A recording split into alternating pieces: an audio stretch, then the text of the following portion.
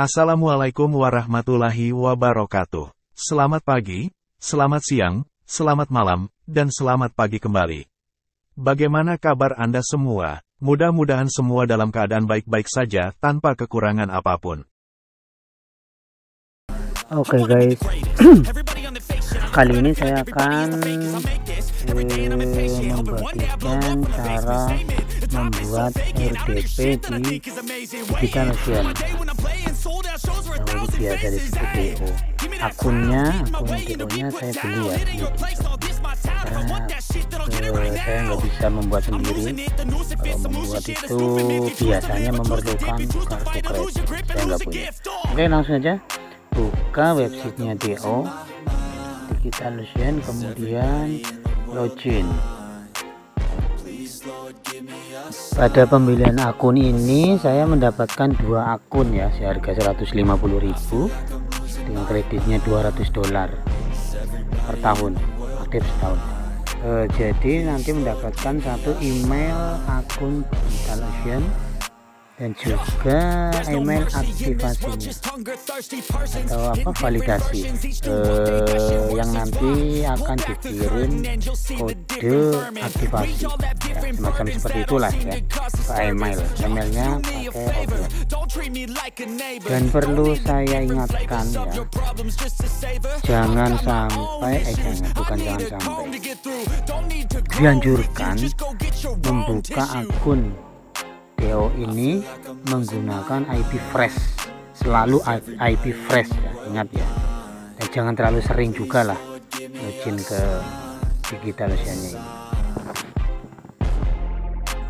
Oke selanjutnya buka email lihat di kotak masuk kode verifikasi sudah dikirim verifikasi ini hanya dilakukan uh, sekali ya pertama kali login saja. Nanti besoknya sudah tersimpan jadi sudah tidak verifikasi kembali. Sinyalnya agak lemot tidak agak susah. Video saya potong-potong agak cepat durasinya. Belum masuk refresh. Nah ini dia. Email sudah masuk. Verifikasinya. Nah ini masukkan kode verifikasi tadi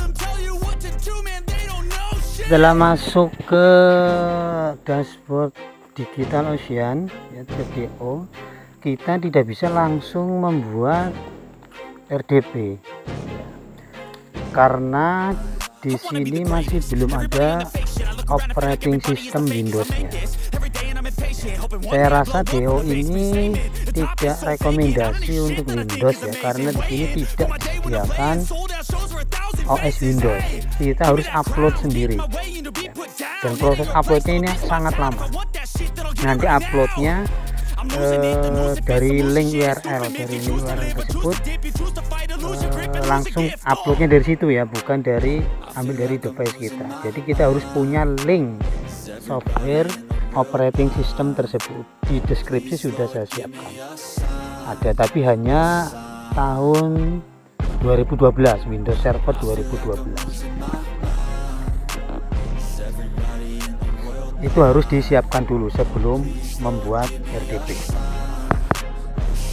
pada menu samping sebelah kiri pilih manage kemudian pilih image. Gulir ke atas lalu pilih custom image. Kita akan mengupload file installer OS Windows 2012 eh, dengan tipe filenya image ya image. Lalu pilih input via URL nah, pastekan di sini link OS Windows 2012 yang sudah saya siapkan di deskripsi ya. Di copy kemudian dipastekan di sini. Tempel di sini kemudian next. Selanjutnya beri nama atau di, namanya kalau mau diubah kalau saya nggak usah ya. Yang penting ada namanya nama image OS yang kita upload tadi. Agar mudah membedakan karena nanti akan ada beberapa OS yang diupload sesuai kebutuhan. Selanjutnya pilih region. Uh, saya terbiasa dengan Singapura ya. Maka kali ini pun saya akan milih negaranya Singapura. Kemudian kulir ke bawah upload image. Ya proses upload sedang dimulai ya. Proses ini kurang lebih satu jam keterangannya masih pending berarti itu masih proses upload. Dan jika upload sudah sukses itu nanti di situ keterangannya eh, upload satu jam yang lalu dua jam yang lalu seperti itulah ya. Sambil menunggu proses upload selesai kita buat dulu security SSH masuk ke setting kemudian pilih security lalu pilih SSH key nah di sini kita memerlukan aplikasi tambahan untuk menggenerate key-nya SSH key-nya aplikasi yang kita butuhkan adalah putih gen kita download dulu putih gen.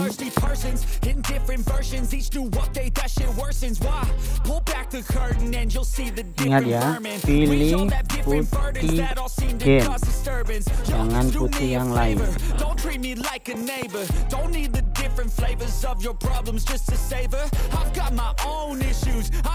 Selesai terdownload langsung kita buka ya di sini posisi kursor harus diletakkan dulu di kotak new SSH nah ini. Kemudian klik generate. Ya. Posisi mouse tadi harus ditempatkan dulu di kotak SSH agar kotaknya berwarna merah. Dan di sini kursor harus digerak-gerakkan. Kalau nggak digerak-gerakkan generate nggak jalan Tuh ya, mandek di situ terus. Trust me, there's nothing wrong. I just need to carry on cause society's a myth put there to make you sit. Listen to what they give. Don't ask questions, shut your lid. Lalu copy semua keynya yang ada di aplikasi Putih, Putih Game ya. Di blok semua, di copy, lalu dipastekan atau ditempelkan di kotak new SSHK pastikan semua isinya terblok semua ya.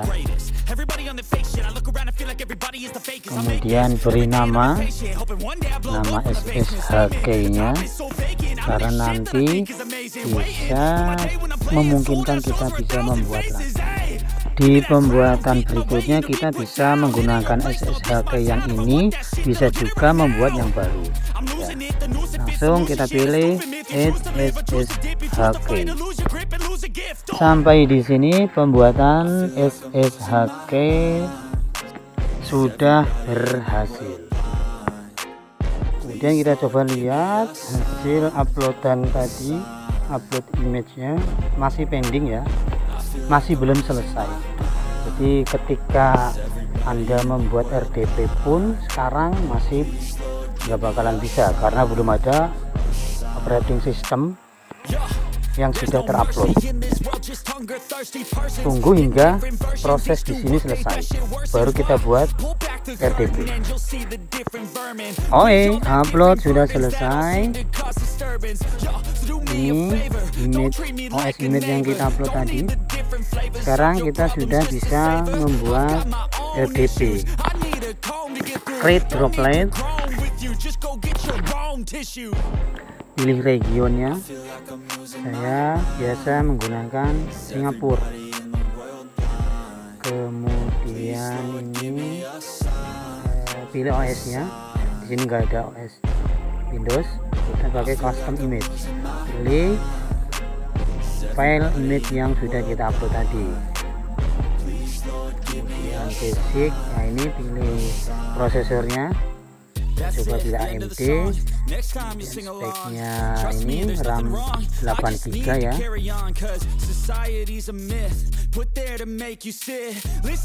selanjutnya ke SSHK ini adalah key yang tadi sudah kita buat. ya, kita pilih. lalu create droplet tunggu prosesnya hingga selesai. Ini biasanya hanya beberapa menit saja.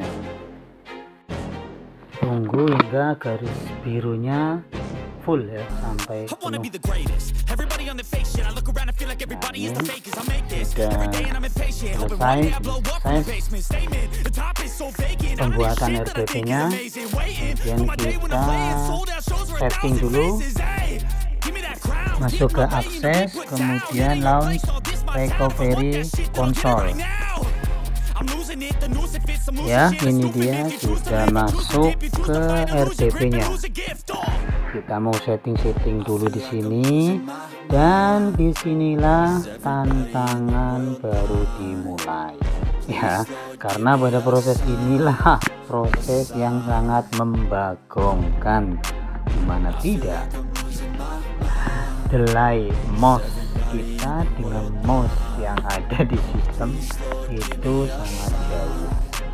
Tapi semua itu tergantung dari trik. Ada trik sedikit. Dan yang tidak kalah penting adalah sinyal.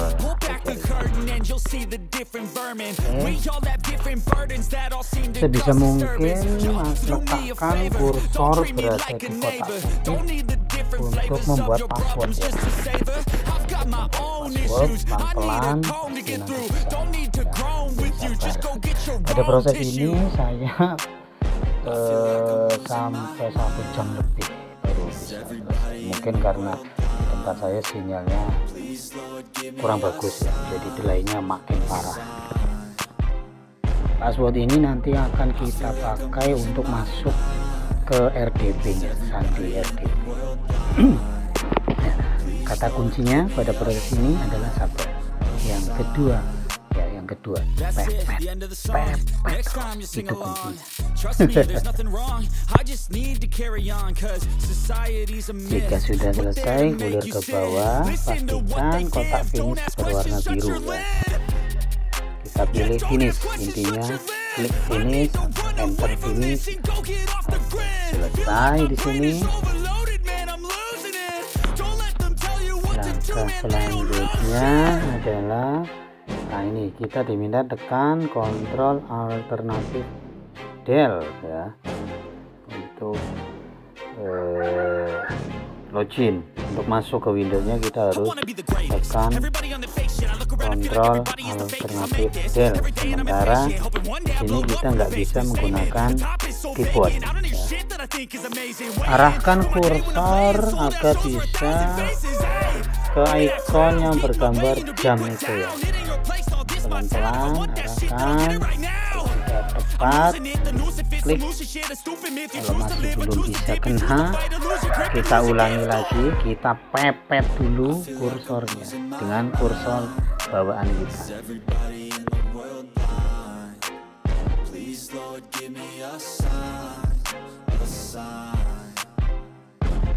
Jika sudah kita pilih uh, keyboard on screen ya on screen keyboard. Untuk menggeser-gesernya pakai tanda panah yang ada di keyboard laptop atau keyboard PC Anda ya. Oke ini sudah muncul keyboard on screennya on screen keyboard.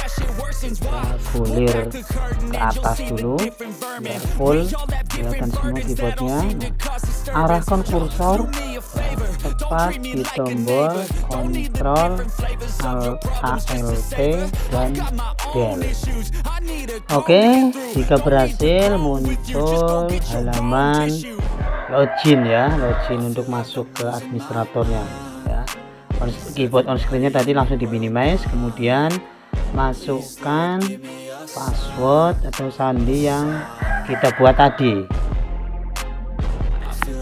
nah ini sudah masuk ke RDP nya ya. Sudah masuk ke Windows. Di sini kita oke saja. Dan di sini masih mode membagongkan ya. Kalau masuk RDP lewat konsol ini ini pasti ada delay di selanjutnya kita setting lokal server. Di sini nanti kita mau mengaktifkan RDP nya nah, di sini masih terlihat RDP masih disable. Nanti kita setting menjadi enable. Checklist allow remote connection bla bla bla bla bla dan kemudian yang di bawahnya di uncheck kemudian apply dan oke. okay.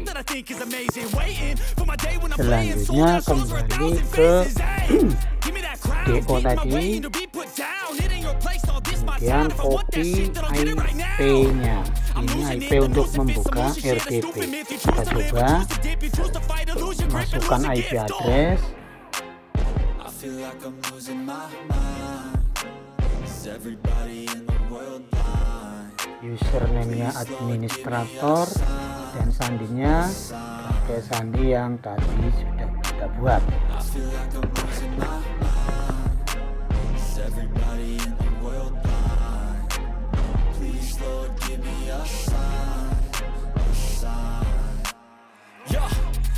dan masuk Pak Eko ini kita sudah masuk ke RDP nya nah, di sini sudah nggak ada delay karena kita masuk lewat RDP bukan lewat uh, konsol yang tadi sekarang kita setting agar bisa dipakai untuk kejar jam tayang ataupun apa ya. Eh, karena RDP itu fungsinya tidak hanya untuk kejar jam tayang saja. Tetapi kalau untuk uh, Anda mau pakai kejar jam tayang berikut settingannya. Ya, aktifkan soundnya. Silahkan download alat tempurnya bisa melalui link yang ada di deskripsi. Bisa juga channel YouTube saya ini. Ya.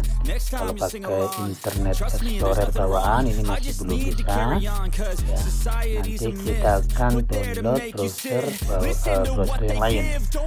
Saya pilih yang oke yang penting di sini jangan Google Chrome karena Google Chrome nanti uh, akan kita download satu paket dengan alat tempur yang lain sudah dalam satu paket silahkan download dulu browser yang lain. Kemudian setelah itu gunakan browser tersebut untuk masuk ke uh, channel YouTube saya.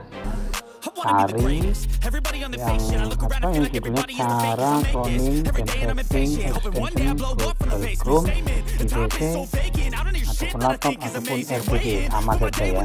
Dan alat tempurnya pun ada di situ silahkan unduh dan lihat tutorialnya di video tersebut.